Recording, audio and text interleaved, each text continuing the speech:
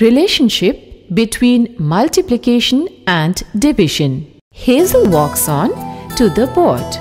She writes 4 into 6 is equal to 24. Now she writes 24 divided by 4 is equal to 6. Remember, multiplication and division are the opposite of each other.